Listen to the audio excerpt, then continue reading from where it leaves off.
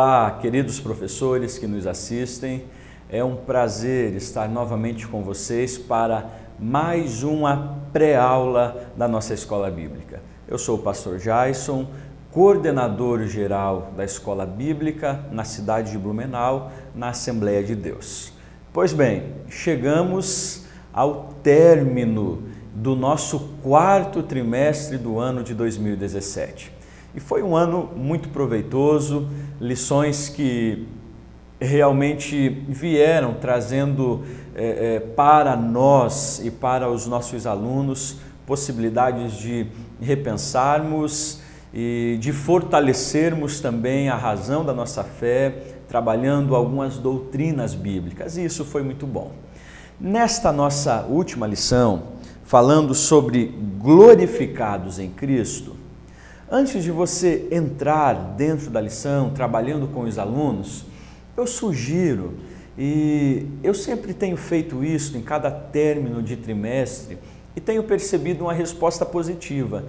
Invista 10 minutos da sua aula para fazer uma recapitulação ou uma pequena síntese de cada uma das aulas que você esteve estudando no decorrer dos encontros.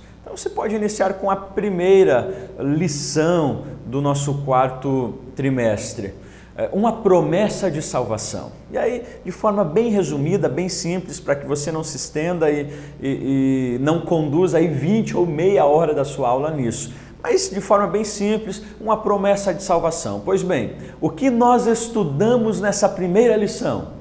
É claro, é muito provável que a grande maioria dos irmãos não vão se lembrar, porque já se passaram aí três meses. Mas aí de forma simples trabalhe para eles. Olha, nessa primeira lição nós falamos justamente sobre é, o nascimento da promessa de salvação onde Deus vai lá ainda no jardim do Éden declarar para o homem e, e, declarar para toda a humanidade a promessa de que um dia nasceria um que esmagaria a cabeça da serpente. Enfim, de forma muito sucinta e breve, faça esta recapitulação, você vai ver que isso é importante e até mesmo para você, como professor, estar fazendo uma autoavaliação das suas aulas no decorrer deste período. Pois bem, dentro desta nossa lição, uh, glorificados em Cristo, a nossa última lição do trimestre, nós temos aí dois objetivos. Você já percebeu que é uma lição mais curta, com apenas dois tópicos e dois subtópicos em cada tópico. Então, dá de se trabalhar um pouquinho melhor e com uma profundidade maior dentro desta nossa lição. O primeiro objetivo vai ser explicar qual é a esperança dos salvos em Cristo? Qual é a verdadeira esperança do salvo? A segunda, o segundo objetivo que nós teremos dentro desta aula é justamente compreender que a salvação plena foi garantida por Jesus e confirmada pelo Espírito Santo. Então, basicamente, são estes dois objetivos que nós estaremos trabalhando dentro desta visão e, e, desta perspectiva da glorificação em Cristo Jesus. O primeiro tópico da sua lição vai estar falando sobre a gloriosa esperança da ressurreição dos santos. E aí, olha só o subtópico: a ressurreição dos santos. Gente, Falarmos de ressurreição é falarmos de uma viva esperança para aqueles que aguardam a vinda de Cristo Jesus. Talvez seja importante você fazer uma diferenciação de ressurreição e de reencarnação. São duas coisas é, semelhantes às palavras em si, mas totalmente diferenciadas e divorciadas. Reencarnação, uma doutrina espírita defendida por espíritas, e ressurreição, uma doutrina bíblica, ok? Então é importante você estar traçando esta linha de diferença dentro da sua classe. Eu acho interessante, e aí você terá o material completo no nosso site, mas nos slides você já pode ver isso. Você fazer ou traçar um paralelo dentro deste processo de ressurreição dos santos e perceber o seguinte: primeiro, um, estabelecer talvez uma, uma certa ordem de ressurreição, nós vamos perceber o seguinte: 1 Coríntios 15, 20 ao 23, nós temos Jesus Cristo sendo a primícia dos que dormem. Olha só o que diz o texto. Mas de fato, Cristo ressuscitou dentre os mortos e foi feito as primícias dos que dormem. Porque assim como a morte veio por um homem, também a ressurreição dos mortos veio por um homem. Porque assim como todos morrem em Adão, assim também todos serão vivificados em Cristo, mas cada um por sua ordem. Cristo as primícias, depois os que são de Cristo na sua vinda. O que Paulo está enfatizando aqui, o que são as primícias? Pois bem, dentro desta ênfase que Paulo está tratando e trabalhando, é, dentro da visão teológica de ressurreição, Cristo é a primícia daqueles que dormem, porque ele foi justamente aquele que primeiramente ressuscitou dentre os mortos. Note a expressão do texto é, que Paulo está dizendo. Porque assim como todos morrem em Adão, assim também todos serão vivificados em Cristo, mas cada um por sua ordem. Cristo as primícias. Então, dentro do que poderíamos chamar aqui ordem da ressurreição, nós temos primeiramente Cristo, a, a primícia, aquele que primeiramente ressuscitou. E aí, de acordo com a ressurreição de Cristo, nós temos a esperança de ressuscitarmos também. Aí vem o segundo texto, 1 Tessalonicenses 4, 16 ao 17. Paulo vai dizer o seguinte: Pois, dada a ordem, com a voz do arcanjo e o ressoar da trombeta de Deus, o próprio Senhor descerá dos céus e os mortos em Cristo ressuscitarão primeiro. Veja, o próprio Senhor, aquele que já ressuscitou, descerá dos céus os mortos em Cristo ressuscitarão primeiro, depois nós, os que estivermos vivos, seremos arrebatados com Ele nas nuvens, para o encontro com o Senhor nos ares. E assim estaremos com o Senhor para sempre. Então veja, é interessante que nós teremos Cristo descendo, aquele que já ressuscitou, e aí os que morreram em Cristo ressuscitarão primeiro, é o que Paulo está dizendo, terão o seu corpo transformado e glorificado, se encontrarão com Cristo, e então nós, aqueles que estivermos vivos, seremos arrebatados, e o nosso corpo, claro, será transformado, também glorificado em Cristo Jesus. E aí, o terceiro texto importante de você frisar dentro da sua classe, para fazer o fechamento, é Filipenses 3 e 21, o qual transformará o nosso corpo de humilhação para ser igual ao corpo da sua glória, segundo a eficácia do poder que ele tem de até subordinar a si todas as coisas. Olha que interessante. Nós temos primeiramente Cristo ressuscitando, sendo a primícia dos que dormem. Posteriormente, nesse processo, nós temos o arrebatamento da igreja, onde os que dormem em Cristo ressuscitarão. Então, após isso, nós temos aqueles que estarão vivos, que serão arrebatados, terão seu corpo transformado. E aí, o objetivo desta ressurreição, Filipenses 3 e 21, nós seremos como Cristo, ou seja, Ele transformará o nosso corpo de humilhação para ser igual ao corpo da sua glória. Claro, não sabemos, e talvez surja esta pergunta dentro da classe: qual será e como será o nosso corpo? Que matéria será? De que forma seremos? É, queridos, estas respostas a Bíblia não nos dá. Nós podemos, claro, indagar, é, pensar em algumas coisas, mas ela não nos dá uma resposta clara. Não sabemos qual será a matéria. Sabemos sim que o nosso corpo do corruptível se transformará no incorruptível. Temos a plena consciência pelos textos que eh, nós eh, teremos um corpo glorificado, um corpo semelhante ao de Cristo, um corpo que não sofre a influência da física. após a ressurreição, nós vamos encontrar um Cristo comendo peixe e pão, mas também entrando em um local fechado, sem a necessidade de que eh, venha a ser aberto porta ou janela, ele entrando e estando no meio dos seus discípulos, ou seja, sem sofrer a influência de física ou das leis da física. É importante nós percebermos e enfatizarmos o seguinte detalhe: seremos semelhantes ou seremos como ele é. E ponto. Ok? Fechando esse primeiro subtópico, nós entramos no segundo subtópico, o destino eterno dos salvos.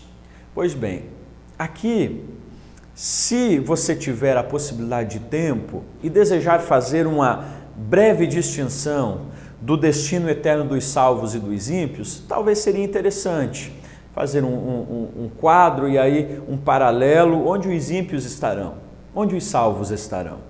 E é importante você trabalhar de forma muito mais intensa justamente sobre a morada dos salvos, que será na Nova Jerusalém, ao lado de Deus. E aí você pode citar Apocalipse 21 e 16. Eu sugiro que você trabalhe um pouquinho sobre esta morada, a Nova Jerusalém.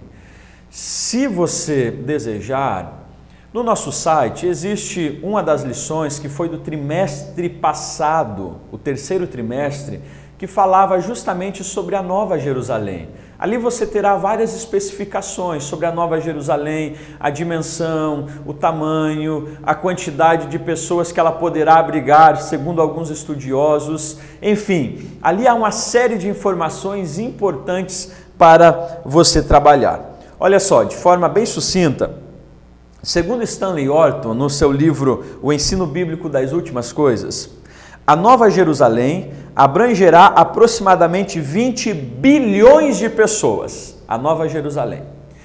Segundo a ONU, em 2016, havia cerca de 6,1 bilhões de pessoas na Terra. Então, olha a diferenciação: 6,1 bilhões para 20 bilhões de pessoas na Nova Jerusalém. É, Aborde isso, é importante você trabalhar um pouquinho sobre a Nova Jerusalém, o que ela será, como se dará, como estaremos lá, e aí eu acredito que você pode enriquecer buscando esses materiais que nós já trabalhamos no trimestre passado. Pois bem, chegamos ao nosso segundo tópico.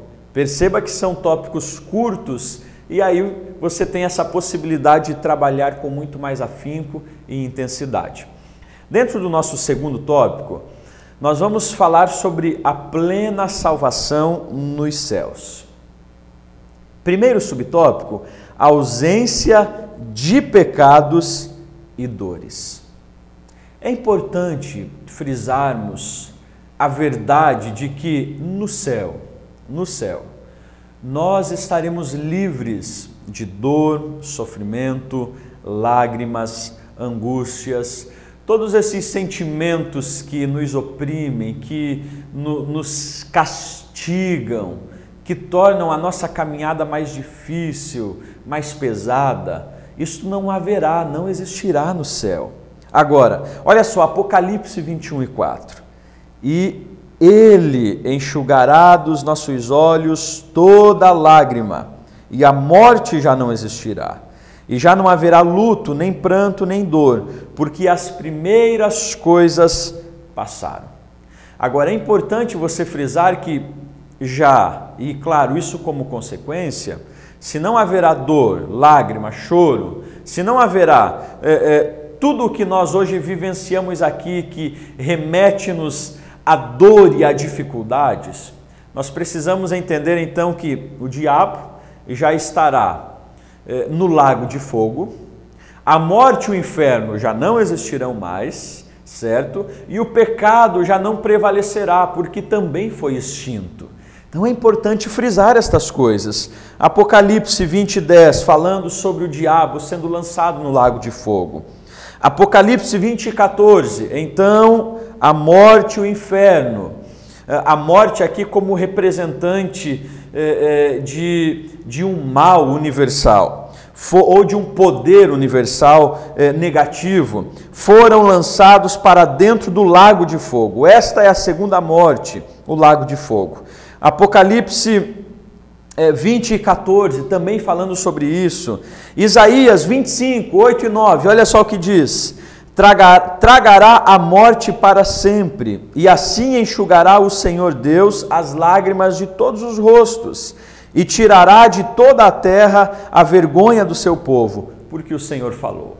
Então é importante nós frisarmos que no céu haverá ausência de pecados, de dores, dificuldades, lamento, lágrimas, enfim, haverá ausência, porque aquele que é o causador de tudo isso já não estará no nosso meio para sempre.